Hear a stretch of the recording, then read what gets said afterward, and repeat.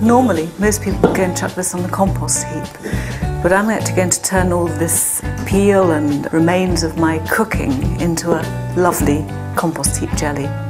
This wonderfully frugal jelly allows you to use up the leftover skins and peels that are so rich in pectin and flavour. I'm just going to roughly cut these up to soften the peel and to get the flavour out of them.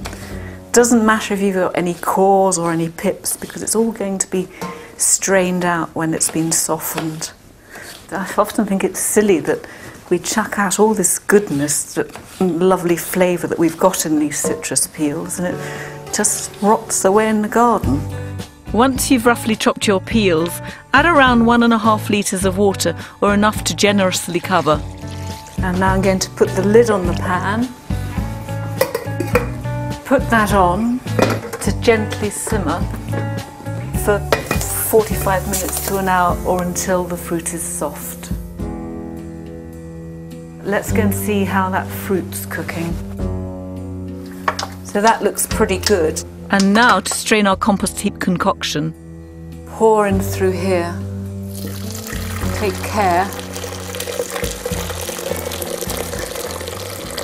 Lovely smell. Ooh.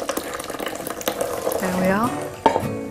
If you want a nice crystal clear jelly, don't squeeze your bag, just let it drip through overnight and you'll get a lot of good juice out for your jelly. take the weight out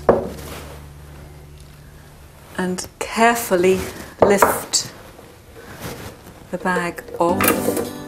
Measure your strained liquor in a jug, then weigh 450 grams of sugar for every 600 ml of juice. Sugar is the vital ingredient in all jam and jelly making, as it preserves the fruit and stops it from spoiling. You're going to be surprised at how this Claudio juice is going to turn into a lovely crystal jelly. For this pectin-rich jelly, I use inexpensive granulated sugar. With all jam making, when you put the sugar in, you need to stir until the sugar's dissolved. Leave your liquor to boil on a high heat for approximately 10 minutes or until it's reached its setting point. Now the bubbles have gone and they've, uh, they've disappeared, I'm left with this lovely clear jelly. I like to just pour from a jug, so I tip into a, good roomy jug with a good pouring spout. We really need to pour this quite quickly to prevent a skin forming when it goes into the jar. Yeah, that's five lovely jars, that's spot on. I've made those really with just a little bit of my time. A bag of sugar and all that old rubbish that was going to go on the compost heap. If you've got any air bubbles, on the top or in the jar, just give them a quick sharp tap on the table. That's going to dispel any bubbles. With a fresh and delightfully tangy taste, I think of my compost heap jelly as a shredless marmalade. It even makes an ideal accompaniment to cold meats. Compost heap jelly. Let's spread this on my bread.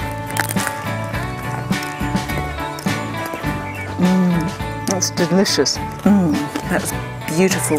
Really lemony and fruity. And what better place to eat it than in the veg patch, sitting in the sun.